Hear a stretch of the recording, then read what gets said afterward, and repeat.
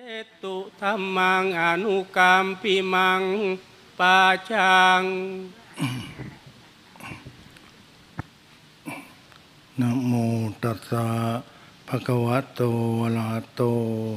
สัมมาสัมพุทธัสสะนะโมตัสสะภะคะวะโตอะระหะโต สัมมาสัมพุทธัสสะนะโมตัสสะภะคะวะโตอะระหะโต สัมมาสัมพุทธัสสะสัทธาเทวมนุษย์สานัง พุทโธภควาติ สาธุธุนี่แหละที่คุณแห่งพระพุทธเจ้า พระธรรมเจ้า พระสงฆ์เจ้า ท่านบอกว่ามนุษยธรรม ทวธรรมโลกุตละธรรม นั่นน่ะเป็นของสูงสุดนั่นน่ะที่หลวงปู่พุทธบุตดาพูดเอาไว้นั่นน่ะเห็นไหมมนุษย์พรมเทวพรมนั่นมนุษย์ภูมินั่นน่ะภูมิของผู้ที่เป็นบัณฑิตนั่นน่ะผู้ที่เป็นนักปราชญ์นั่นน่ะทำให้ ไม่มัวเมานั่นนะกินแล้วไม่มัวเมาเนี่ยมนุษย์กินแล้วบริโภคแล้วก็ไม่มัวเมา กินศีลกินธรรมไม่มัวเมานะใช่ไหมถ้ากินศีลกินธรรมแล้วยังมากินไม่ไม่ถูกไงกินกินนิดนิดหน่อยหน่อยๆแล้วก็ดูถูกพระศาสนาบางคนก็นึกว่าศาสนา ไม่ได้เป็นที่พึ่งอะไรช่วยอะไรเราไม่ได้ ก็เพราะว่าเราไม่มีตาทิพย์หูทิพย์นั่นนะเอ่อเรายังสู้จมูกสุนัขจมูกแมวไม่ได้นะเห็นไหมจมูกหมีนั่นนะมันมากินเก้งกวางครึ่งกิโลมันยังมันยังได้กินนะ ไอ้ลูกเกงลูกกวางมันออกมาหมีมันหิวนะ มันอยู่ในป่า มันก็มาดักกินลูกกวาง ลูกเก้ง ถ้าเดินไม่ทัน แม่มัน มันก็โดนกินหลงนะเห็นไหมจจมูกพวกนี้ไวนั่นแหละแค่สัตว์ด้วยกันนั่นแหละ เรียกว่าเขาก็มีญาณวิเศษของเขาเหมือนกัน ที่เขาได้มาพรสวรรค์ แต่มนุษย์เนี่ยเห็นไหมอ่าญาณวิเศษไม่เท่าเห็นไหมลิงมันฉลาดเห็นไหมมันกินผลไม้ มันกลัวกินกินแล้วเป็นพิษ มันกินนิดเดียวแล้วมาแตะลิ้นมันดูนั่นแหละแล้วมันก็ทิ้งถ้ากินไม่ได้นั่นแหละเห็นว่ามันมีมันรู้ แต่มนุษย์เนี่ยเห็นไหมเออเห็นไหมมึนเมามันก็กิน บอกว่าไม่ดี มันชื่อไอ้ไอยาบ้ามันก็กิน นั่นแหละเห็นไหมเรียกว่ามันไม่มียานวิเศษ นั่นน่ะมันมันกลายเป็นเชื่อเห็นไหมเชื่อสิ่งที่ผิดผิดเนี่ยนิยมผิดผิดใช่ไหมนั่นน่ะเราก็บอกว่า พ่อแม่ไม่ดีแล้วพ่อแม่ต้องต้องตามใจทุกอย่าง เห็นไหมตามใจทุกอย่างแล้ว นั่นแหละก็ไม่เป็นผู้เป็นคนเห็นไหมก็ผมกระเซาะกระเซิงบางคน ถ้าไปเดินอยู่ตามกรุงเทพนะถ้าเราไปทางกรุงเทพจะเห็นบ่อยแต่ก่อน คนผมยาวไม่ใส่เสื้อใช่ไหมเสื้อเออผมก็ลุงลังหมดนั่นนะเรียกว่าเห็นมาเรียกว่าเขาไม่เป็นสัมมาทิฏฐิแล้วนั่นแหละ เขาคอยวันตายนั่นแหละเห็นว่าคนเรา จึงบอกว่านี่แหละที่เรามาปฏิบัติธรรม เราได้เห็นสัจธรรม เราได้ถ้าเราสงบมาก ๆ เราก็จะมีญาณรู้อ่าเราก็จะมีตัววิเคราะห์ในใจของเรา ที่หลวงพ่อสนองท่านก็ที่แรกท่านก็ไม่รู้นะ นั่นน่ะเห็นไหมหลวงพ่อสังวานท่านก็ไม่รู้นั่นน่ะไปอยู่ประชา ไปอยู่ปฏิบัติ อยู่ต้องหกปีหลวงพ่อสังวานนั่นน่ะกว่าจะได้ ได้ทีแรกแค่โสดานะทำไปดำไป มันก็เหมือนอุณหภูมิหรือว่ากุศลนี่แหละมนุษย์ภูมิ มนุษย์พรมเทวพรมนั่นแหละมนุษยธรรม เทวธรรม มันก็เพิ่มขึ้นเพิ่มขึ้นนั่นเองนั่นแหละเพราะกุศลมันเกิดแล้ว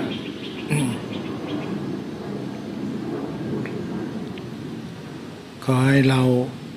ขอให้เราเนี่ยเหมือนว่าปลายศาสนาแล้ว เราก็กอบโกยไป เป็นนิสัยเป็นปัจจัย ถ้าเราไม่ได้ถึงอรหันต์ใช่ไหมเราก็ยังดี ยังดีกว่าเห็นไหมพวกแปะปะอยู่ข้างถนนนะใช่ไหมช่วยพ่อแม่ก็ไม่ได้ ช่วยสังคมอะไรก็ไม่ได้ใช่ไหมนั่นแหละเพราะเขาเห็นผิดไปแล้ว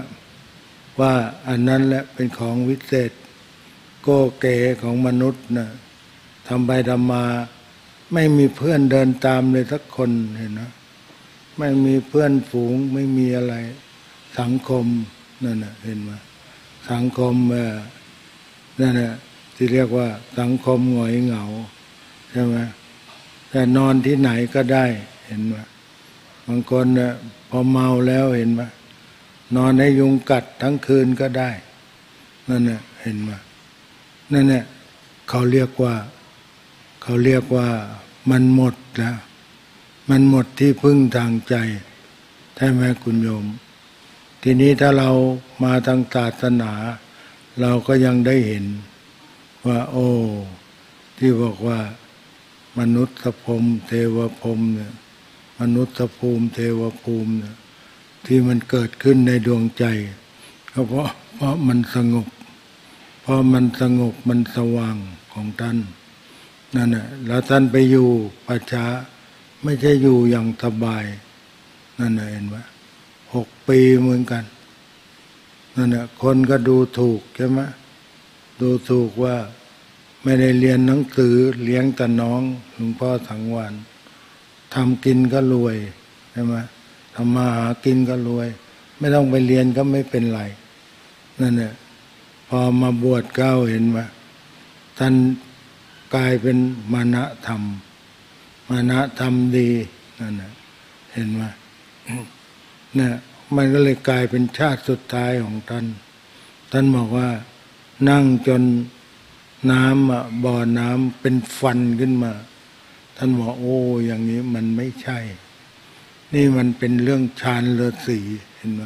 ท่านก็เลิกทำนั่นท่านท่านเล่าให้ฟัง อืม แสดงว่า ท่านก็เคยปฏิบัติของท่านมาใช่ไหมทุกภพทุกชาติ นี่แหละ เรามาต่อต่อบุญกุศลของเราเนาะนะที่เราดูถูกบุญ ดูถูกพุทธเจ้า ดูถูกคนมีศีลธรรม มันก็ทุกข์เข้าไปใหญ่เลยใช่ไหมนั่นแหละมันก็ไม่เข้าสิเนาะไม่เข้ามาทางศีลธรรมนั่นแหละเราเราจะไปข้างไหนนั่นแหละ นะพระสงฆ์ก็ตะโกน ตะโกนให้มาทางนี้ อีกอีกไอ้ทางยามาทางอบายมุกมันก็ตะโกน นั่นแหละเห็นว่าลองลำทำเพลงล่อกันนั่นแหละเหมือนเหมือนล่อให้มแมลงไปหานั่นเองที่จุดไฟใช่ไหมตัวมแมลงก็มันไม่ใช่มาเล่นไฟอะมันคิดว่าจะมาดับไฟ นะจะมาดับไฟมันก็ไหม้ปีกก่อนแต่มามักเมาเข้ากองไฟนั่นเห็นไหมทีนี้พอมาเป็นสัตว์ต่าง ๆแล้วนี่มันนานเลยกว่าจะได้กลับมาใช่ไหมโยม ที่ที่หลวงปู่วันว่านั่นแหละไอ้คู่บารมีท่านนะที่บอกว่า โอ้โหห ลวงปู่ตัดจ้องน้อยแต่พอตัวแล้ว ที่เคยตั้งแรงอธิษฐาน ทีนี้หลวงปู่มั่นรู้ก่อนเนี่ย รู้ขึ้นมาก่อนโยมผู้หญิงนั้นยังไม่รู้เนี่ย ก็ตอบว่าไปอยู่ในภพเออภพน้อยภพใหญ่ที่อยู่ในในโลกนั้นก็มาต่อต่อว่าหลวงปู่มั่นจะเลิกแล้วจะเลิก ไม่ปรารถนาแล้ว ไม่อยากมาเกิด ไม่อยากจะมามีคู่ครองอีกแล้วเห็นไหมก็เสียใจนั่นเนี่ยจนหลวงปู่ต้องเทศให้ฟังใช่ไหมอืมล่าเริงบันเทิงใจทำไปทำมาได้ไปเกิด ในในภพที่สูงขึ้นสูงขึ้นกันเลย เข้าใจหลวงปู่ ก็มาฟังเทศเห็นไหม แอบมาฟังเทศเหมือนกันนั่นเนี่ยฟังแล้วก็ยังน้อยใจไงว่า เลิกแล้วเลิกไม่อยากมาเกิดอะหลวงปู่มั่นใช่ไหมนั่นน่ะหลวงปู่บอกว่า เอาเถอะทำไปเถอะทุกคนย่อมได้นั่นน่ะย่อมได้ย่อมย่อมไปหาสัมมาทิฏฐิได้นั่นเองเพราะฉะนั้นน่ะจึงบอกว่านี่แหละ ทุกวันนี้เห็นไหมนิดนิดหน่อยหน่อยๆก็ฆ่ากันฆ่ากันง่ายใช่ไหมสมัยห้าหกสิบปีนี่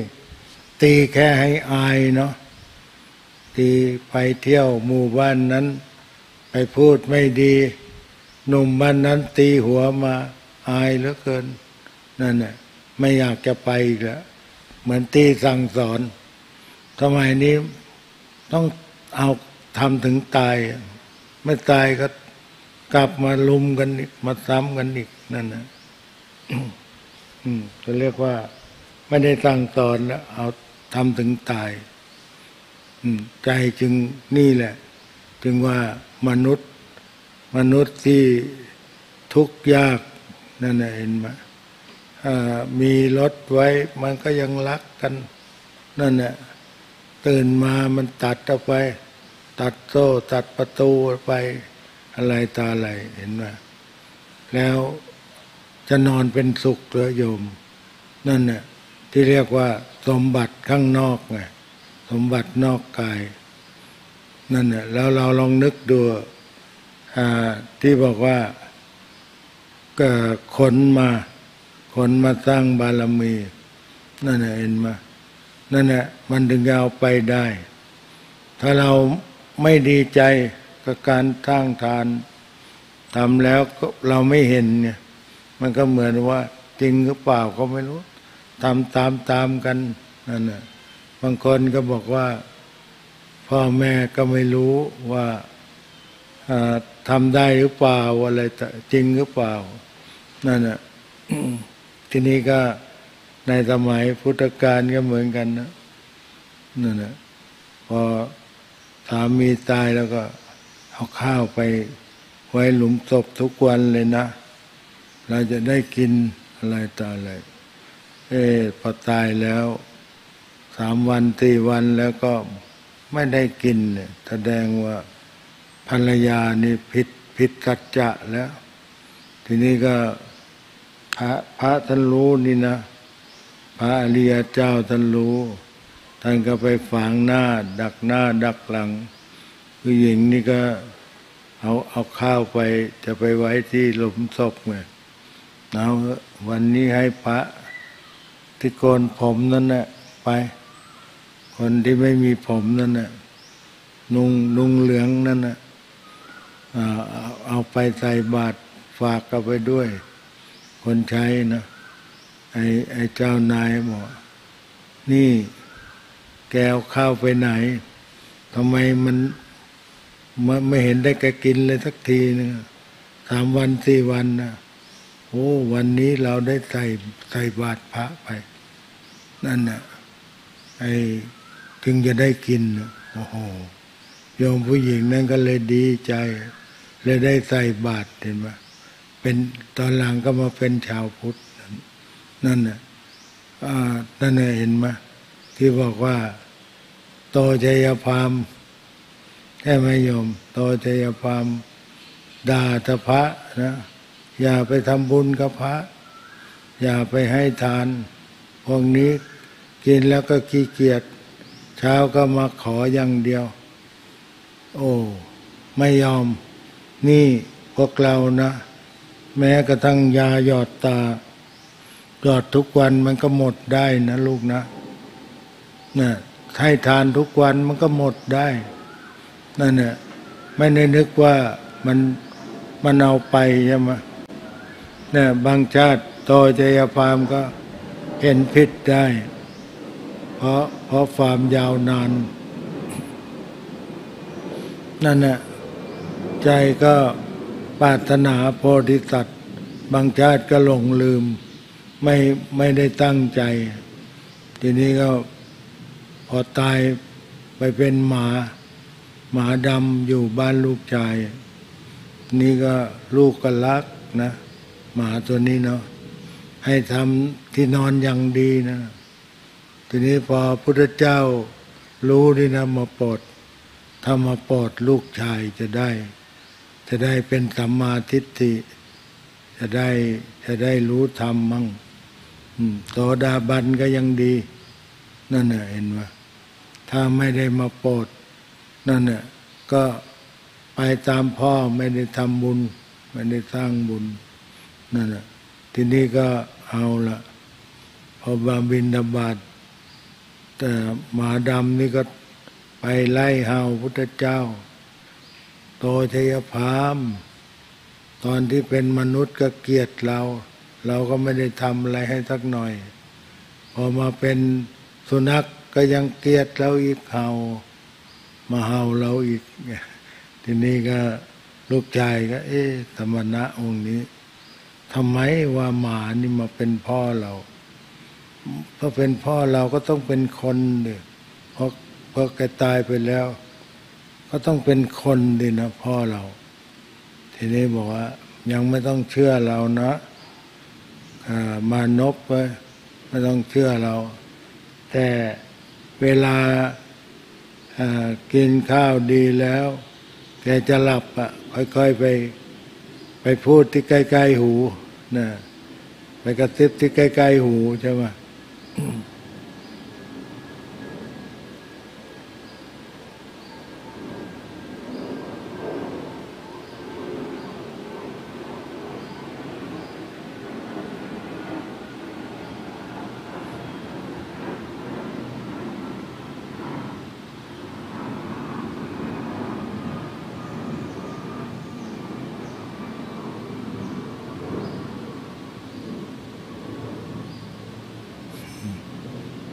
ไปไปกระซิบใกล้ๆหูนะ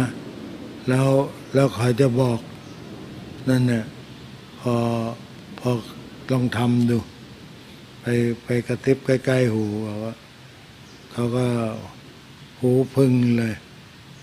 ก็วิ่งไปเลย พ่อพ่อพ่อฝังสมบัติไว้ตรงไหน พ่อรวยมาก มีทรัพย์แปดสิบโกดนั่นนะไปฝังไว้ทำบันไดท่าน้ำก็ ไปขุดดูสุนัขกก็ไปขุดดู เขาก็ไปขุดก็ได้เสื้อประดับเพชรพลอยก็ได้เห็นไหมนั่นแหะเตตีกลัวกลัวลูกหลานจะดูแลไม่ได้ ก็ฝังเอาไว้นั่นเห็นไหมไปทำมามาอยู่ที่ไหนก็บอกหมดเลย ก็ได้ทำบุญสุนทานนั่นนะ ทีนี้เออ พุทธเจ้าองค์นี้เนี่ย เออ พูดอะไรนี่ มันถูกหมดเลย พุทธเจ้าเหมือนหมอดูเนาะทีนี้ก็เลยฟังเทศ ฟังเทศนะนั่นแหละให้รู้จักรักษาศีลปฏิบัติธรรมภาวนา นี่แหละแล้วเราจะพ้นวิกฤตนะลำบากนั่นแหละเรา เรามีสมบัติมาก เราก็ห่วงใช่ไหมห่วงมากนั่นทุกวันนี้เห็นไหมนั่นเนี่ยมันใหญ่กับสมบัติ มนุษย์เนี่ย ถ้ามันมันหลงเขาแล้วมันใหญ่กับสมบัติตัวตนความคิดเนี่ยเห็นไหมคิดว่าไม่ตายนั่นนะทีนี้ก็ เออ คนที่เขารู้ นั่นแหละ เขารีบทำนั่นแหละพวกหลวงปู่หลวงปู่อารามหลวงปู่คำผิวตะก่อนนี่มา อายุมาก ๆ เขาเห็นเลยสว่างโอ้พระพระนี่มีมีนั่นเหลือเกินพุทธานุภาพบางคนเห็นมาก็เหมือนคนแก่ธรรมดา แต่บางคนเขาเห็นเนี่ยพลังทิพย์ของหลวงปู่นั่นเนี่ยเขารีบทำบุญเลยเห็นไหมบอกว่าทำแล้วมันจะได้มาไวๆกุศลที่ตั้งใจทำนั่นเห็นไหมทำไมอะจึงว่าพวกลามะจึงมานะทำเหลือเกินนั่นเห็นไหมทำบุญสุนทานนั่นนะเช้าขึ้นมาก็ นับประกรรมไปมีเจดีย์ที่ไหนก็ไปเวียนรอบเจดีย์เหมือนเดินจงกรมนะโอมณีโฮมอะไรนั่นใช่ไหมโอมณีโฮมนั่นแหละพุทธนโมโอเลงเคียวอะไร ญี่ปุ่นเนาะนั่นแหละเห็นไหมนี่ทีนี้ก็ท่องไปเถอะกว่าจะกว่าจะเข้าถึงฌาน ว่าถึงจะอรูปะฌานนั่นเห็นมา ทีนี้ทีนี้ก็บางคนก็ทำได้ บางคนก็ยังเป็นนิสัยอยู่ บางคนก็เห็นมาจิตจิตตะเลิดไป ที่หลงนิมิตไป ร้องหัวเราะร้องตรวจมนต์สวดมนต์ไปหัวเราะไปวิ่งไป อยู่ทำพุทธกยา นั่นก็เป็นได้เห็นไหม ที่เรียกว่าสมาธิของเขา มันออกนอกไงจิตมันออกนอกจิตมันออกนอกอย่างเดียวนั่นแหละเราก็เห็นแล้วว่าเออ เหมือนกันนะบางคนบางคนเห็นไหมแต่ก่อนนี่มาเยอะพวกหลงฌานพวกหลงฌานไปพวกหลงปลาหลงน้ำนั่นนะเข้าไปวังไม่ถูกนั่นนะเห็นไหม ก็ไม่ล่มเย็นไม่สงบเย็น คนที่ทำได้ก็เหมือนสงบเย็น มีปกติทำนั่นนะเห็นไหมเพราะฉะนั้นนะจึงบอกว่าความสงบจับได้ มันเป็นของวิเศษ ความละเอียดจับได้ นั่นนะที่บอกว่าอะไรอะตัวรู้เนี่ยที่บอกว่ารู้จน เห็นว่าอะไรเกิดขึ้นก็รู้ เกิดขึ้นนั่นเห็นไหมที่บอกว่าเกิดขึ้นตั้งอยู่ดับไป นั่นแหละก็รู้ รู้หมดนั่นแหละจนวันละเอียดเข้าละเอียดเข้า จนครูบาอาจารย์จึงว่าความสงบ ท่านชอบเหลือเกินท่านบอกโอ้ย ผมไม่อยากอยู่หรอกอมันมันไม่เงียบเนาะ อยากจะเข้าป่าไม่อยากพูดกับใครนะท่านอยากจะสอนให้เราทำให้เยอะๆมาใหม่ๆไม่ให้พูดให้ทำมาก ๆ เห็นไหมแล้วทีนี้ใครทำได้ใครตามได้นั่นแหะเป็นสุขหนอใช่ไหมโยม นี่แหละแต่สังวูปัสโมสุขโขนั่นนะทำมันนี้ปรากฏขึ้น มันจะเป็นสุขในใจเรานั่นนะท่านไม่ได้บอกว่า ลาบยศเป็นสุขหนอใช่ไหมลาบยศสามเตินเป็นสุขหนอนั่นนะท่านบอกว่าความสงบ นี่แหละไปสวรรค์นิพพานใช่ไหมโยมแก่นแท้ของศาสนานั่นนะที่เราเรามาปฏิบัติธรรมของเรา เราก็นี่แหละ เราเก็บเล็กผสมน้อยของเรา นั่นนะเราไม่ต้องคิดว่าชีวิตนี้ทำไมทำไมเราไม่เหมือนเขานะบางคนเห็นว่าเป็นโรคมะเร็ง เป็นโรคร้ายยิ่งเป็นโรคเอดเนี่ยเห็นว่าเขาก็มันไม่หายนะยามันหายยากก็เกินบางคนนั่นเห็นไหมแต่ต้องกินยาส้มใช่ไหมนั่นยาส้มสูตรหลวงปู่ฟัน ยาเทวดามาเข้าฝันบอกนั่นเองโอ้ยมันกินลำบาก กินลำบากก็หลอดตินะนั่นนะเอาสลิงฉีดเข้าไปก็ได้ ให้มันเลยเลยลิ้นเราจะมารับรู้นั่นแหละ ลิ้นเป็นเป็นตัวรับรู้ ขนเผ็ดเปรี้ยวอะไรก็ว่าไปเถอะนั่นน่ะนี่แหละที่บอกว่า คิวหาวิญญาณนั่นนะอืมคิวหาลิ้นก็มีวิญญาณนั่นแหละมีตัวรับรู้รสนั่นนะกายสัมผัสเนี่ยนั่นน่ะกายสัมผัส ไปไปถูกตัวเข้า มันก็รู้นั่นแหละนี่นะเห็นไหม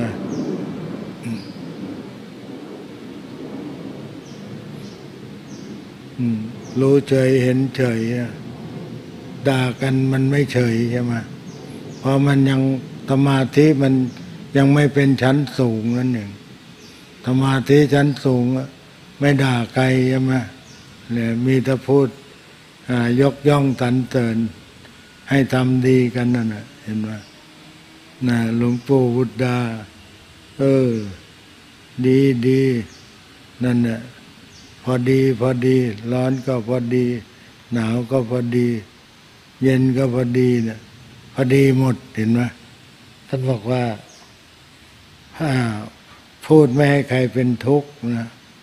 ทนได้หลวงปู่ทนได้นั่นน่ะยอดยอมไปกับหลวงปู่ก็สบายใจ ไปกับหลวงปู่เที่ยวตัวไทยก็ไม่เป็นไร เพราะหลวงปู่ไม่ไม่โวยวายกับใครนั่นน่ะ ไปบ้านนั้นน้องชายก็บอกไปตั้งตรงนี้ที่ให้หลวงปู่นั่ง ทางนี้ พี่สาวบอกให้ไปนั่งทางนู้น นั่งทางนู้น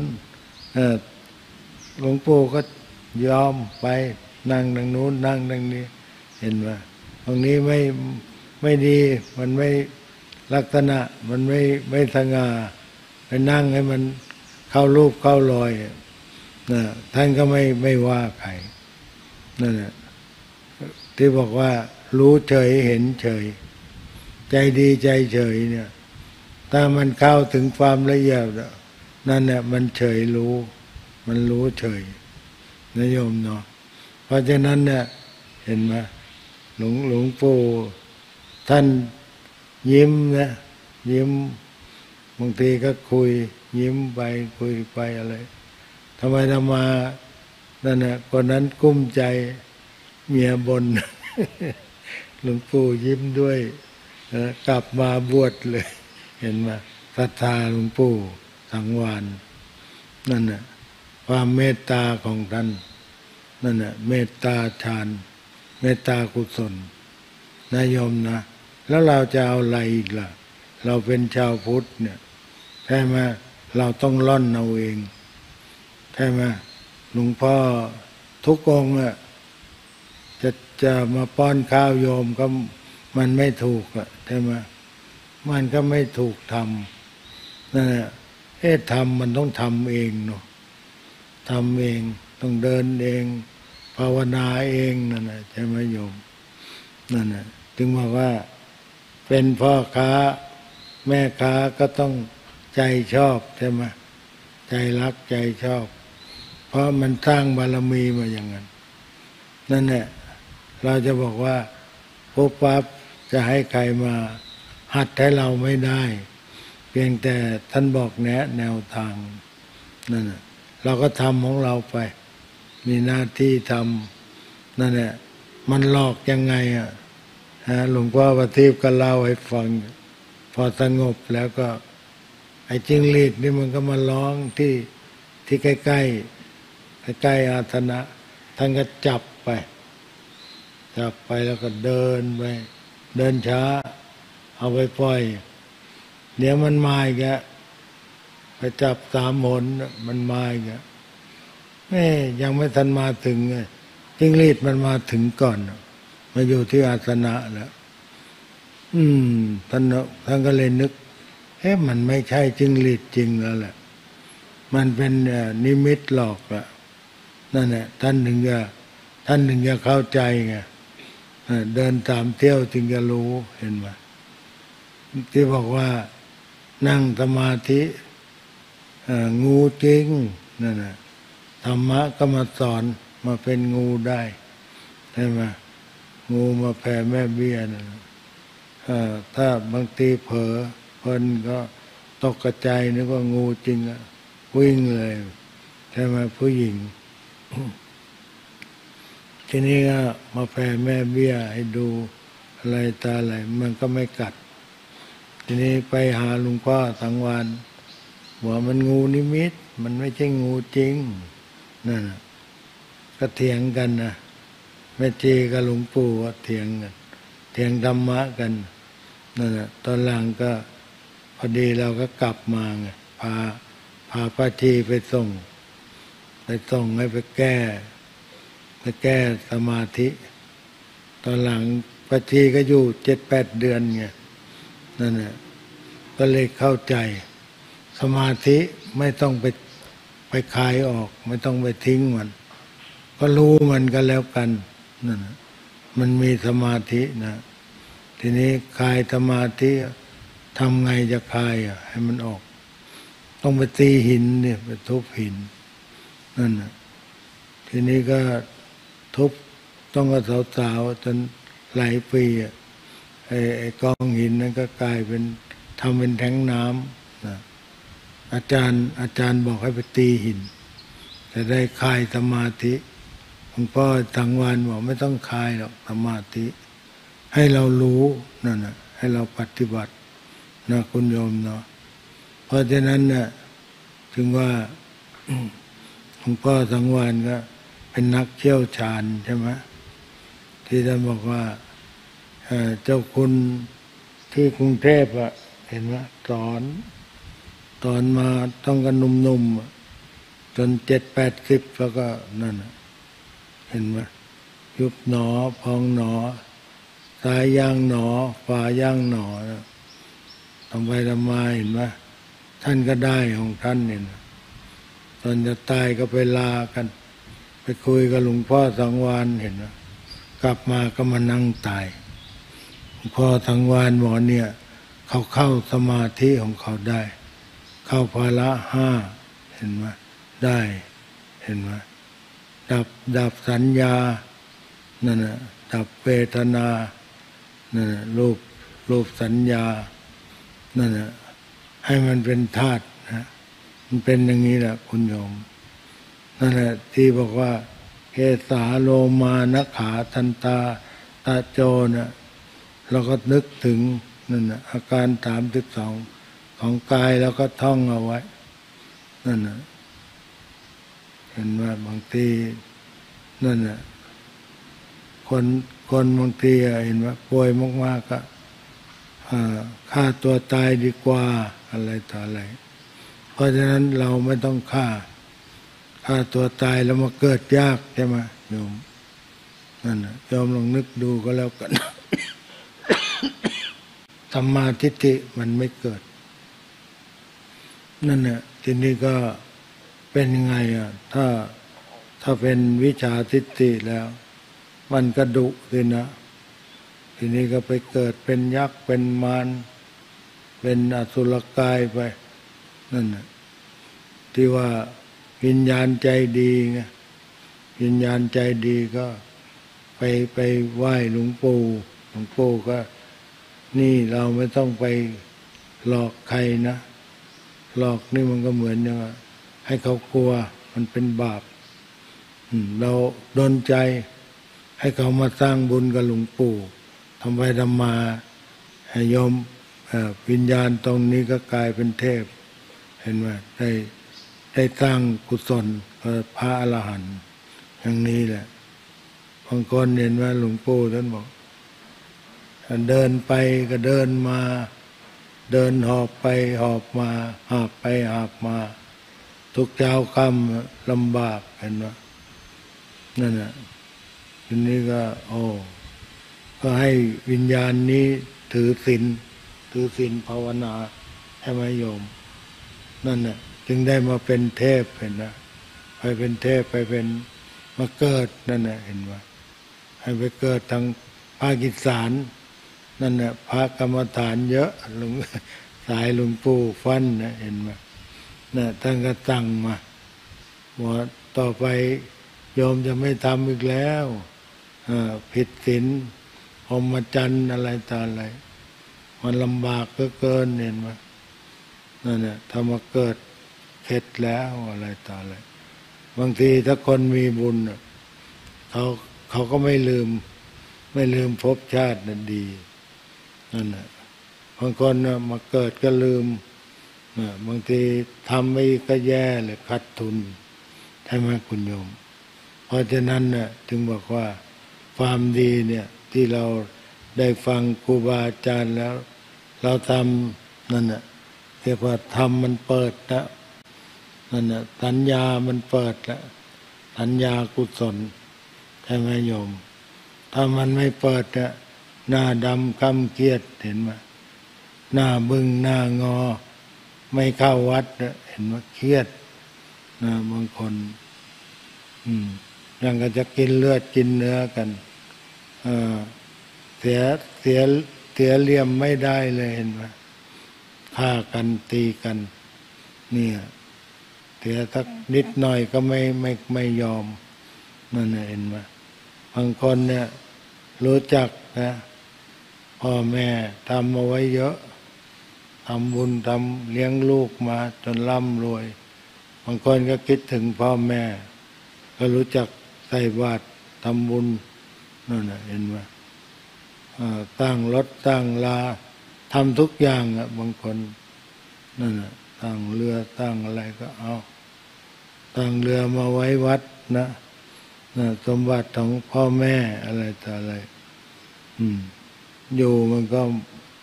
มันก็ไม่ได้ทำอะไรเนาะนั่นน่ะ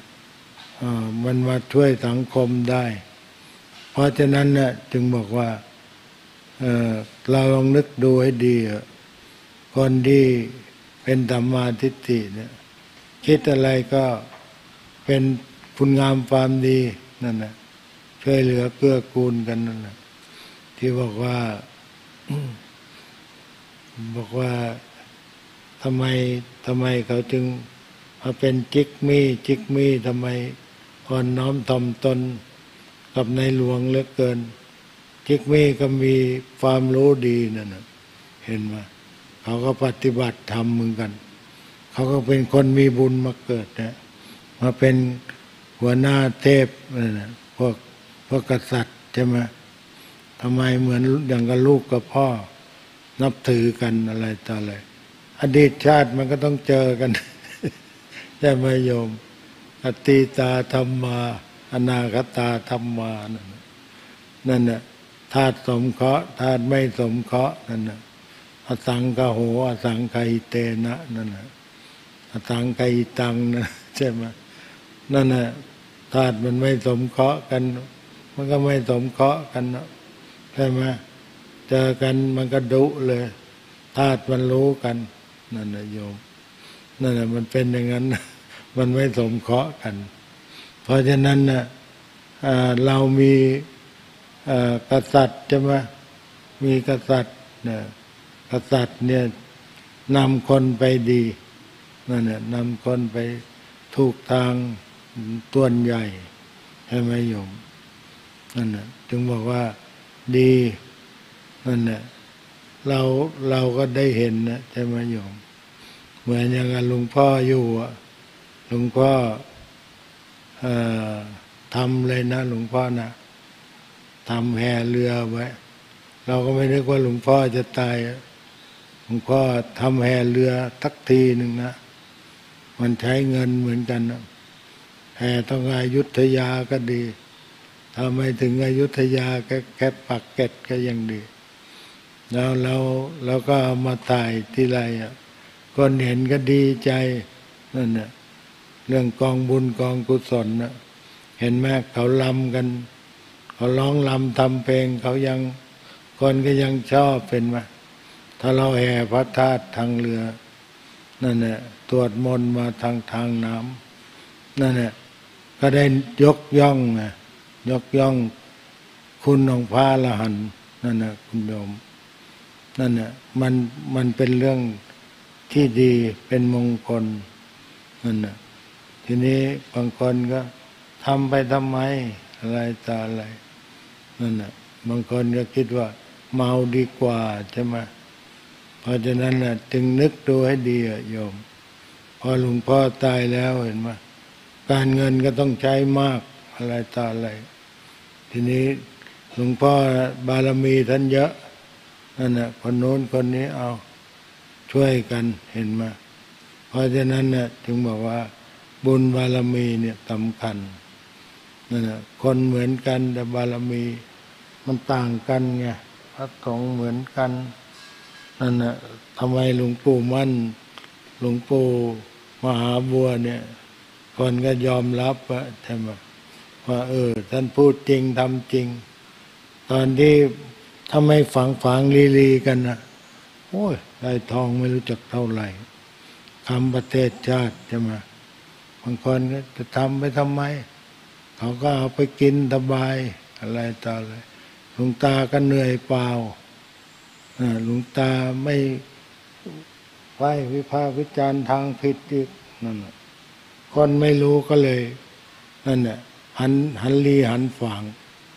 จึงว่าพอหลวงตาตายแล้ว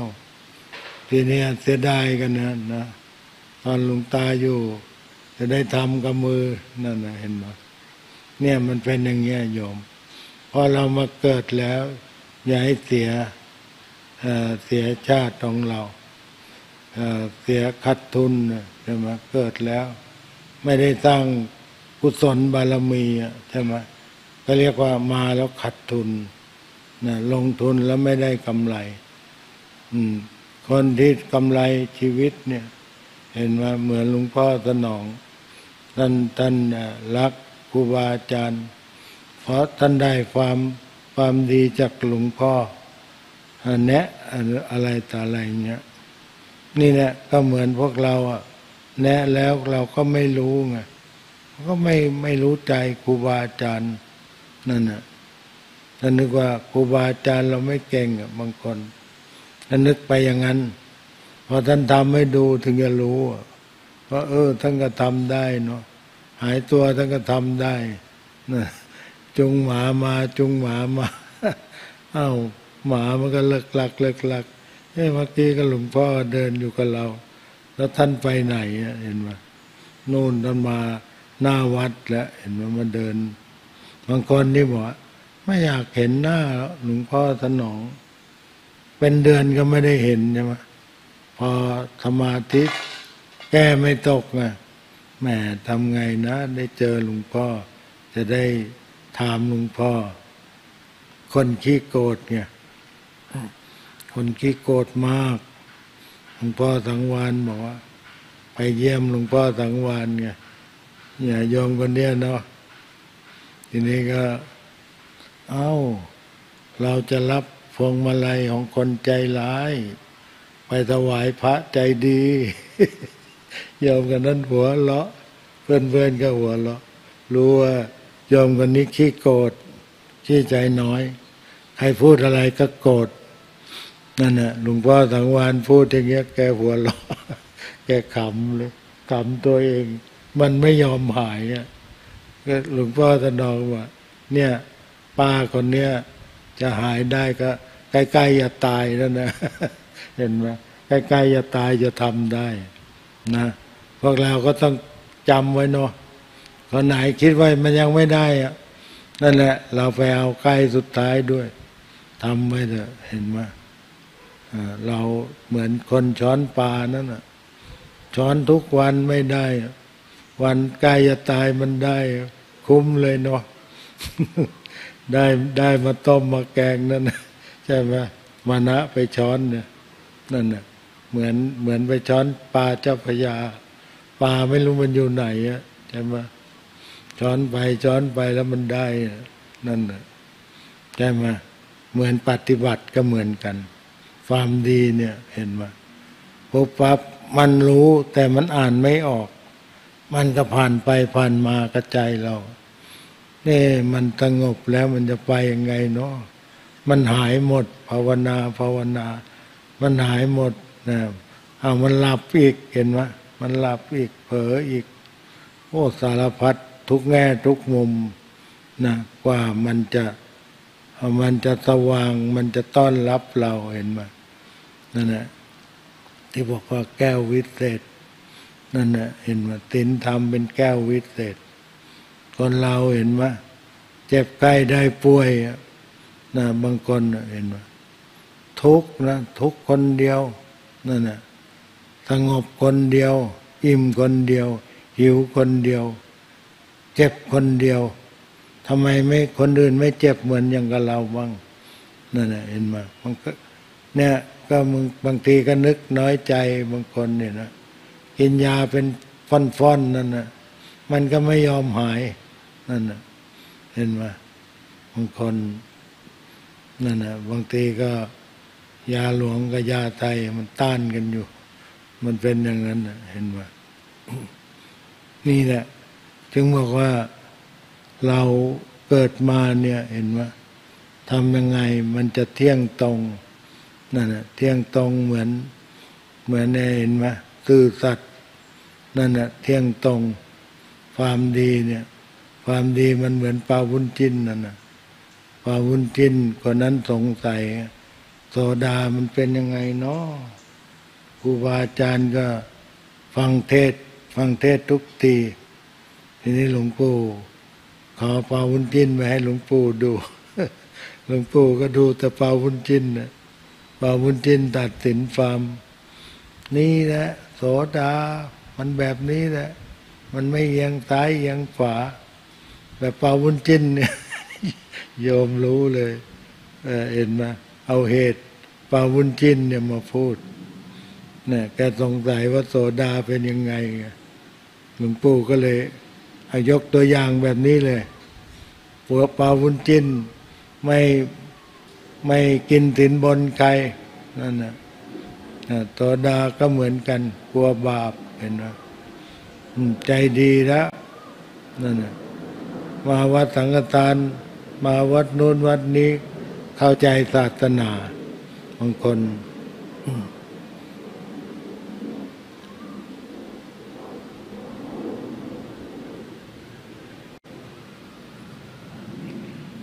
แล้ว แล้วคุณยอมจะเอาแค่นี้ละที่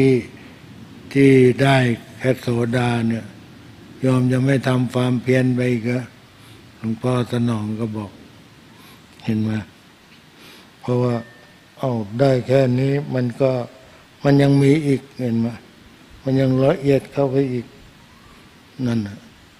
โยมลองนึกดูก็แล้วกันโสดามัน ได้แล้วมันก็ละเอียดเข้าละเอียดเข้าเนะใช่ไหม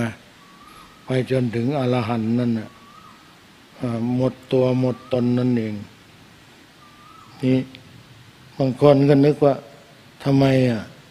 ทำไมหลวงปู่จึงดุหลวงตาดุก็เพราะว่าอยากให้ลูกหลานได้ดีใช่ไหมบางทีไปถ่ายรูปท่านนั่นก็แกล้งดุเอาเลย อันจิตนั่นน่ะจิตของผู้ที่ละเอียดเนี่ยถ้าไปสะดุดแล้วมันดับเลย ตอนที่ธรรมะกำลังเกิดนั่นน่ะธรรมะมันไม่ใช่เอามาเอามาไอ้นั่นไว้หรอก เอามาท่องไว้ในใจอะหลวงปู่ท่านบอกมันเกิด มันเกิดแล้วไปทำให้ท่านสะดุดอย่างเงี้ยท่านก็แกล้งว่าเลยนั่น ไม่ให้ทำไม่ให้ทำไม่ให้ถ่าย บางคนนี่ไปโกดอีกไปดักหน้าดักหลัง คนคนแก่เนาะเดี๋ยวล้ม ไปไปกราบใกล้ๆเท้าแล้วก็กลัวกลัวจะสะดุดเนี่ยกำลังเดิน มันไม่เหมือนคนหนุ่ม หยุดตอนไหนก็ได้วิ่งก็ได้ชะงักอยู่เฉยๆก็ไม่ล้ม ถ้าพวกหลวงปู่อายุมากมันจะล้ม ล้มแล้วหมดท่าเลยเนาะ เหมือนหลวงปู่บุญญาลิศเห็นไหมพอล้มแล้วท่านก็ไม่เดินนะขาเส้นมันไม่ดีอะน่ะนั่นแหละ ท่านก็ยังทนไหว นั่นแหละ รักษาธาตุกันไว้ ยังช่วยยังช่วยลูกติดได้ นั่นแหละ ยังนึกถึงก็ยังบางคนก็นึกถึงก็ยัง อืยังได้รู้ได้เห็นนี่ยบางทีคนใจดีเหมือน เหมือนท่านมียานรู้กันน่ะท่านก็ลืมตามาดูนั่นเห็นไหมหลวงปู่ลืมตามาดูกัน นั่นน่ะบางคนไม่รู้ท่านก็หลับตาเฉยนะเห็นไหมรู้กัน แค่ไปเยี่ยมหลวงปู่หลวงปู่ลืมตา ก็ดีใจแล้วเห็นไหมเหมือนว่าลูกๆเป็นนักปราชญ์แล้วใช่ไหมโยม เพราะฉะนั้นแหละเราก็นึกว่าหลวงปู่ท่านไม่รู้แล้ว ท่านหลับเฉยแล้วนั่นนะบางทีท่านไม่คุยแล้ว อายุมากแล้ว คุยมาเยอะแล้วใช่ไหมที่หลวงปู่จาบอกต่อไปเราไม่คุยแล้วนะ นั่นน่ะเราคุยมาเยอะแล้ว พอท่านป่วยท่านก็ไม่พูดอะหลวงปู่ท่านคงไม่รู้แล้วยังชอบฟังเพลง เปิดเพลงท่านก็ถลึงตาใส่ โอ้ทีนี้กลัวเลยเนาะว่านึกว่าหลวงตาไม่รู้หลวงพ่อเลี่ยมอะเราเลี่ยมเป็นลูกศิษย์บอกว่าไปหายาให้หลวงปู่ ยาลากไม้แถววัดมันเยอะตาอาจารย์เลี่ยมไม่รู้หรือไง เดินมาใกล้ๆหลวงปู่เดินมาหลวงปู่ชาท่านก็นอนอยู่นั่นแหละ แต่เป็นตัวเป็นตนไปคุยอาจารย์เลี่ยมไม่รู้หรือไง ว่าใจผมไม่ป่วย มันป่วยสกายนั่นทีหลัง ทีหลังหลวงพ่อชาเป็นอะไรแม่เป็นต้องไปหายาแล้ว แกรักษาของแกเองนั่นน่ะเห็นมาธาตุขันนั่นน่ะเห็นมาใจท่านดีนั่นน่ะนี่มันเป็นอย่างเงี้ยนะโยมนะเห็นไหมพระฝรั่งก็รักญาติโยมก็รัก ฟังเทศหลวงพ่อชาบางคนบอกว่าแหมเข้าวัดมานี่มันปีตินะไม่หิวพอออกนอกวัดไปแล้ว แหมหา หาร้านอาหารไม่ทันเลยต้องกระเช้าจนเย็นหลวงพ่อจาเรียกให้ให้ฉันก็ไม่ฉันเห็นไหมปิติปิติในบุญ เหมือนฌานสมาธิท่านช่วยพวกเรา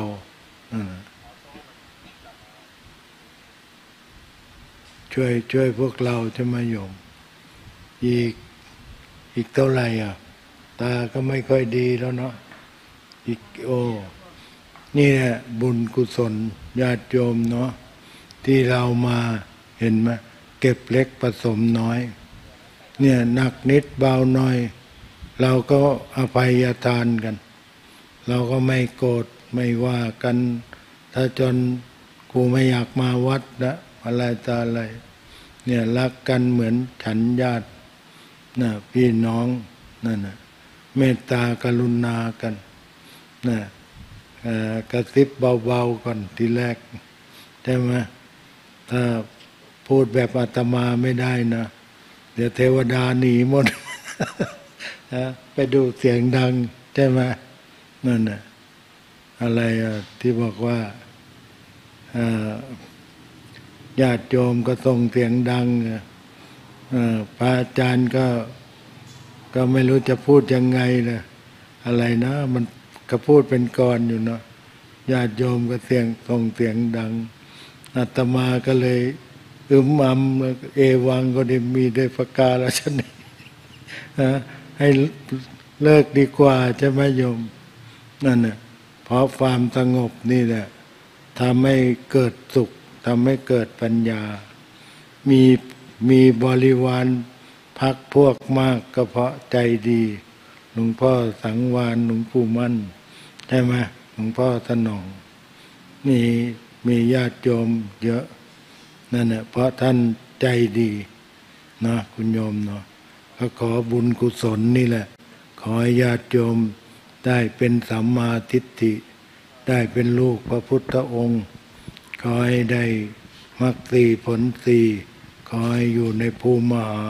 ลาโภมหายะโส มหาปริลาโล ขอให้มีทรัพย์สลิงคารมากมาย จะได้ช่วยพุทธศาสนา ไปด้วยกันทุกท่านทุกคนเทินสาธุ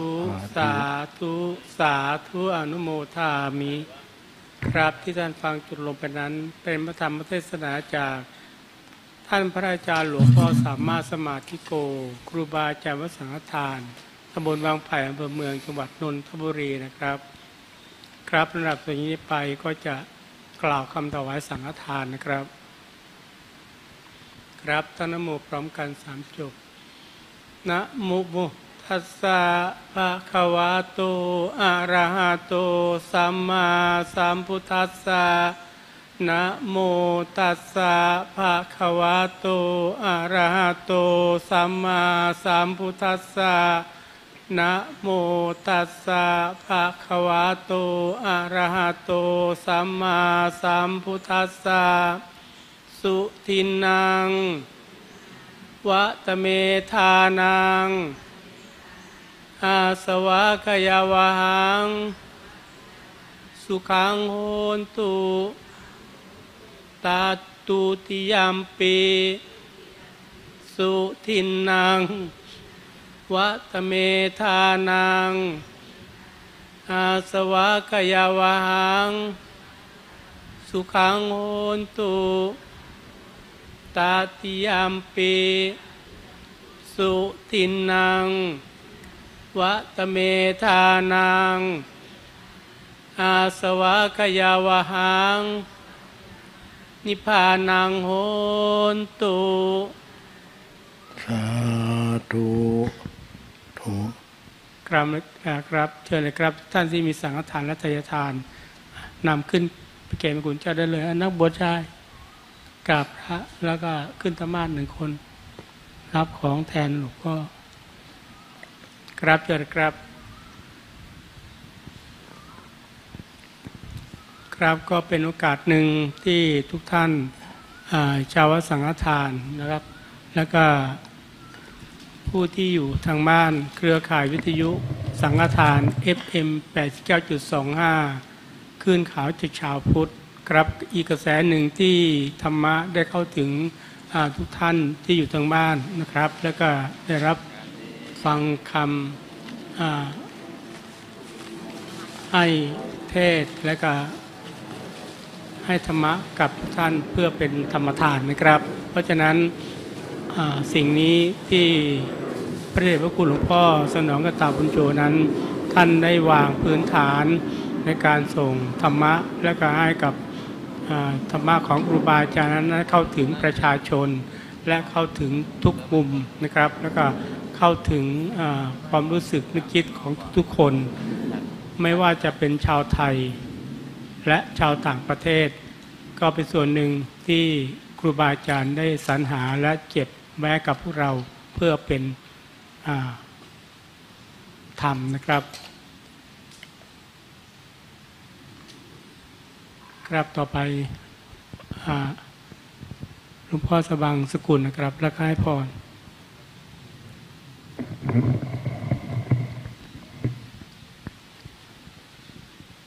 ก็ยังมีอยู่ครับก็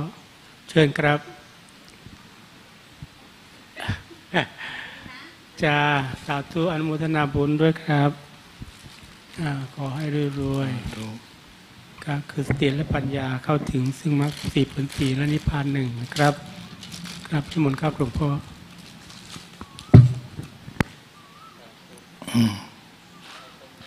อนิจจาวัตสังขาราสังขารทั้งหลายไปเที่ยง ไม่เที่ยงหนอ อุปาทวยธรรมมิโน มีอันเกิดขึ้นแล้ว เสื่อมไปเป็นธรรมดา อุปาจิตวานิโรจันติเกิดขึ้นตั้งอยู่ ดับไปเตสังวูปัสโมสุโค ความเข้าไประงับแห่งสังขารทั้งหลายเหล่านั้นเป็นสุขสาธุ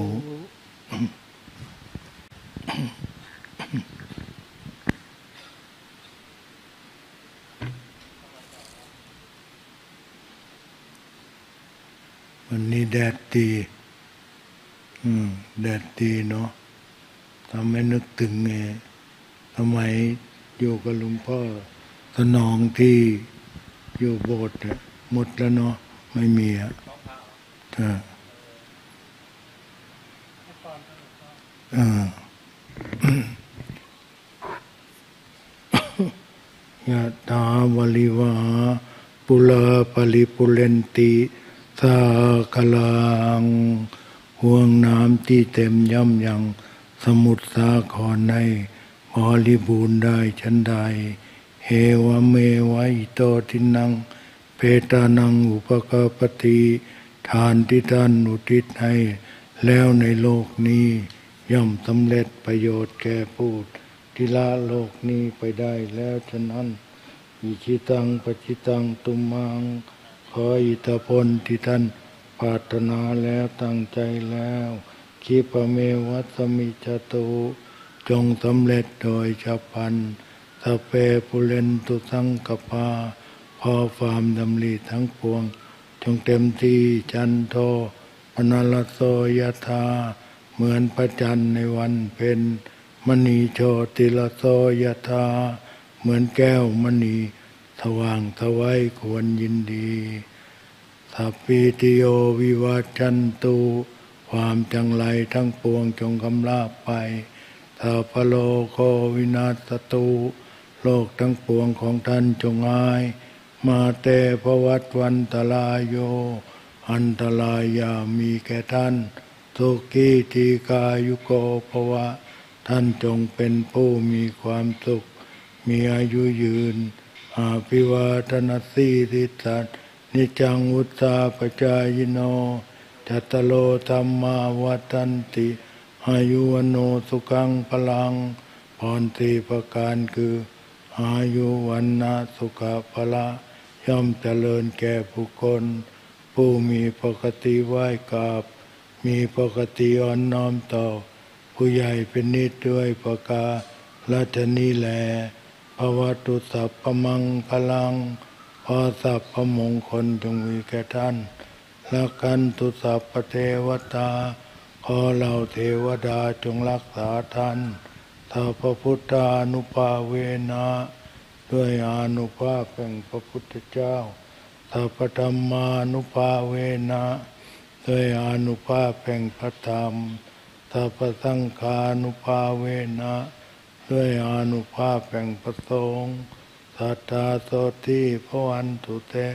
ขอความสวัสดีทั้งหลาย จงมีแก่ท่านทุกเมื่อ สาธุ ครับเชิญแผ่เมตตาพร้อมกันนะครับ สัพเพสัตตาสัตว์ทั้งหลายที่เป็นเพื่อนทุกข์เกิดแก่เจ็บตาย ด้วยกันหมดทั้งสิ้น เราอุทิศบุญกุศลของเราให้หมดด้วยกันอเวลาจงเป็นสุขเป็นสุขเถิด อย่าได้มีเวรแก่กันและกันเลย อาโรคาจงเป็นสุขเป็นสุขเถิด อย่าได้มีความเจ็บไข้ลำบากกายลำบากใจเลยอาพยาปัชชาจงเป็นสุขเป็นสุขเถิด อย่าได้พยาบาทเบียดเบียนซึ่งกันและกันเลยอานิคาจงเป็นสุขเป็นสุขเถิด อย่าได้มีความทุกข์กายทุกข์ใจเลย สุขีอัตตานังปริหารันตุจงมีความสุขกายสุขใจ รักษาตนให้พ้นจากทุกไปทั้งสิ้นนี้เถินเชิญทุกท่านเตรียมตัวกับพระ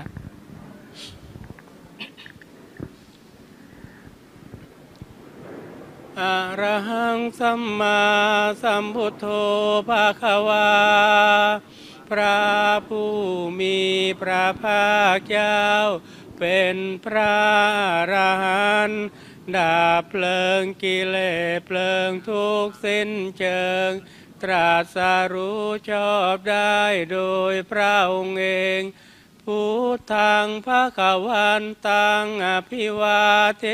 มิข้าพระเจ้าอภิวาพระผู้มีพระภาคเจ้า ผู้รู้ผู้ตื่นผู้เบิกบานกราบ สวากาโตภาคาวาตาธรรมโม พระ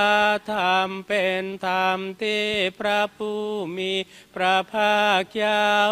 ตรัสไว้ดีแล้วธรรมังนมัสสามิข้าพระเจ้านมัสการพระธรรมกราบ สุปฏิปันโน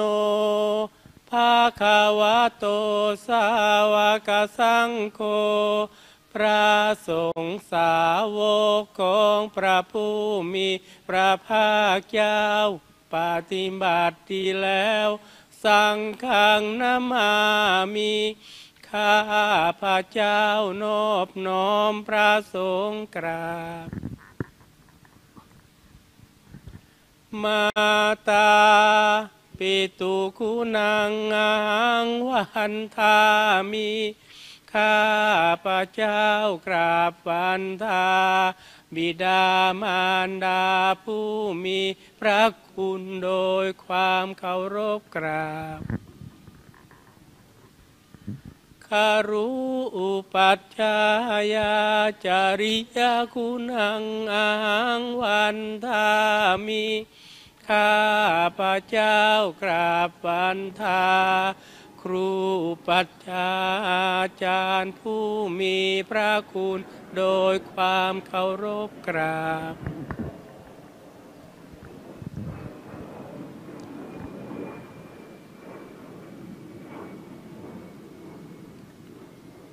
กราบเชิญกราบพระพร้อมกันสามครั้งพร้อมแล้วกราบ